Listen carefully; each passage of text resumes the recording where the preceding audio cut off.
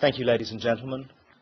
The topic that I have chosen for the 2012 Lewis Conner Memorial Lecture is frugal innovation, which I suggest will be an essential contributor to the development of cardiovascular medicine in the 21st century. Of course, cardiovascular medicine has a glittering history of innovation that has resulted in a wide array of safe and effective strategies for both the prevention and the treatment of common serious cardiovascular conditions such as heart attack and stroke. However, that innovation has benefited a surprisingly small proportion of all those in need. In the 21st century, cardiovascular medicine's single largest challenge is how to provide basic cardiovascular care for the 7 billion people on the planet. About 3 billion of those alive today will go on to develop serious cardiovascular disease.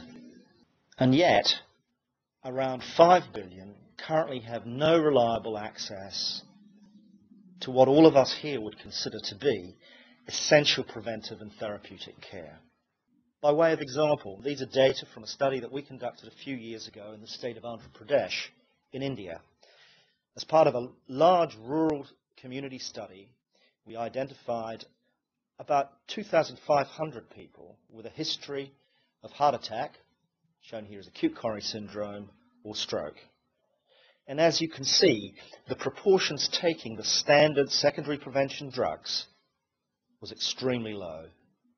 But what was perhaps most surprising was that aspirin was being taken by less than one in six people with a definite indication, despite its very widespread availability and its extremely low cost. It turned out that this was no, by no means unique. A couple of years later, the PURE study showed that in many middle and low income countries, only a small proportion of patients with a history of coronary or cerebrovascular disease were receiving appropriate basic preventive care. Much larger proportions were receiving no care. And what has become clear from these data and others is that most people in the world with serious cardiovascular disease today actually receive no treatment whatsoever. This is, I'm sure you will agree, a rather sobering observation given the enormous investment in cardiovascular healthcare development over the last few decades. So why do we find ourselves in this situation? Well, firstly, most high-risk people live in resource-poor regions of the world. We've previously estimated that there are around 80 million people in North America, Europe, and other high-income countries with a 20-year risk of a major cardiovascular event of 20% or greater. In the rest of the world, however, there are 250 million people at high risk of cardiovascular disease. So how are the resources distributed between these two high-risk populations? Top 80 million have access to a cardiovascular drug market that's estimated to be worth around $100 billion annually, whereas the bottom 250 million have access to a cardiovascular drug market that's less than 20 billion. And this is roughly a 30-fold difference in the resource availability. Similarly, if you measure resource by the number of physicians, you can see that in Europe, and North America, there are about 25 to 30 physicians per 10,000 people in the population. It's about half that number in China and South America, half that again in India, and then just one doctor per 10,000 people in sub-Saharan Africa and Indonesia. Now, while the quantity of the resource is clearly critically important, the quality is also extremely important. And this shows some work that we did uh, in China with the Chinese Society of Cardiology, looking at the quality of care for patients admitted to Chinese hospitals with acute coronary syndrome.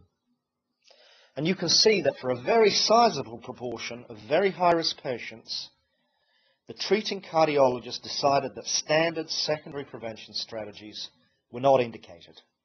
Now, it seems highly unlikely that there was a compelling contraindication for these essential drugs for so many patients. Rather, it seems much more likely to reflect a more fundamental misunderstanding of the importance of these specific drugs and of secondary prevention itself. The other important issue that affects access to effective treatment is cost, particularly the cost of acute hospital care. Once again, this is work that we conducted in China with colleagues from Peking University, and it shows that the average cost of a hospital admission for stroke in China is around $1,600. And for those without insurance, this almost always results in what is termed here catastrophic expenditure. That is hospital costs that exceed 30 or 40% of annual income. But you can see that even for those who have what is deemed here to be 100% coverage, still a large proportion are likely to suffer extreme financial difficulties as a, cost, as a, as a consequence of medical costs that were excluded uh, by insurance cover. So where does all that leave us? Well, clearly, we have a vast unmet need for cardiovascular health care. We have a workforce that is inadequate. We have resources that are inadequate. There is enormous variation in the quality of care provided, which remains very high in cost relative to the ability to pay in many parts of the world. The consequence of this is that every decade, many tens of millions die prematurely and unnecessarily from entirely preventable cardiovascular causes. Now, if we are to avert this carnage, we're going to need radical action. Current strategies and incremental changes will not be enough. We need frugal innovation. We need solutions characterized by extreme affordability, solutions that are accessible to the bottom 3 billion living on less than $2.50 a day. We need solutions that are economically disruptive, such that they lead to fundamental changes in market pricing from the high margin, low volume sales and services that characterize uh, healthcare in the West to low margin, high volume sales and services, which is what is required in all emerging economies. So what examples do we have of frugal innovation in health? Indeed, there are many. I'll give you two examples here today. Some of you might have heard of the Jaipur leg, which is a $150 fully articulated prosthetic limb for landmine victims. And I particularly like this quote from the inventor Raj Mehta. With our design, people can kneel, squat, and climb trees, which isn't possible with other designs. And I'm absolutely sure he's right about that. Perhaps the best known example of frugal innovation in medicine is the Aravind Eye Hospital's $2 intraocular lens, which has transformed cataract surgery in India and many other countries. When it was originally introduced, the lens was 10% of existing market prices. However, Aravind hasn't restricted its innovation to technology alone. Uh, it has also expanded it to service delivery, and they have developed an operating schedule in which one surgeon, working with three nurses using two operating tables and six sets of procedures, can perform six to eight cataract procedures per hour. And that is an output far greater than that typically uh, seen uh, in ophthalmology centers in the developed world. And if you think this rate of uh, uh, procedure is likely to result in compromised safety or quality, you wouldn't be correct. Complication rates in the Aravind hospitals are less than 2%. The rate of infection is extremely low, and corrective surgery is required for less than 1%. And once again, I'm sure that many high-cost ophthalmology centers in the US and elsewhere would only be too happy to achieve these sorts of outcomes. Come back to cardiovascular medicine. Where do we start? It's not a straightforward question, but I believe there are several domains that we should first consider. First, we need to think about re-engineering the cardiovascular health workforce. To cope with demands, it needs to be much larger and much cheaper. It also needs to reduce variation in quality and ensure much wider implementation of affordable, appropriate evidence-based care. Secondly, we need to consider how low-cost technologies might facilitate expansion of the workforce and improve the quality of care. Electronic decision support has a major role to play in this regard, as does improved point-of-care diagnostics. Finally, while we have many important cardiovascular drugs coming off patent and therefore being much more widely affordable, we still need to think how we might encourage pharmaceutical innovation specifically for the emerging markets. The development of fixed dose, once a day combinations is one example of pharmaceutical innovation. But more broadly, I believe we need to see the emerging economies not only as a market for off-patent generics, which remains the current model, but also as a market for new innovative products that can be profitably, profitably produced with low margins and in high volumes. So to look at these three areas in, in more detail. First, with respect to workforce. The reality is that models of primary care developed for high-income countries are impractical and unaffordable elsewhere. In truth, they're probably not affordable in most high-income countries either. In particular, physician-centered care is not the solution. There just aren't enough doctors to do the job. They're too expensive. They're too hard to recruit and retain, particularly in disadvantaged areas where the need is greatest. And there's far too much variation in the quality of the care provided. By way of example, India currently has 500,000 doctors, but to provide US-style care, India would need 3 million doctors, which even with the best of intentions isn't going to happen anytime soon. An alternative is to train and equip an allied health workforce to provide basic cardiovascular care with remote medical supervision. In our program of research in Andhra Pradesh, we've engaged government-funded multi-purpose health workers, also known as ASHAs, in this task. These health workers who have 12 to 18 months training in community health are about 70% less expensive than physicians. We've trained them to perform algorithm-based screening to identify people with a history of cardiovascular disease or at high risk of its initial occurrence. And we've also trained them to make guideline-based recommendations about secondary prevention strategies. And the results are impressive. The healthcare workers were much more effective than the physicians in identifying high-risk individuals. Additionally, the healthcare workers were just as good as the physicians with respect to recommending appropriate treatment. And you can see here that the agreement between healthcare workers and physicians was more than 90% for each of these four key drug groups. And all of this, of, of course, was achieved at a fraction of the usual cost. We have a similar project ongoing in northern China in partnership with Peking University and Duke University, which focuses on village barefoot doctors and is designed to improve primary care for the prevention of stroke, which is the leading cause of death and disability in China. The second strategy is the development of low-cost technologies.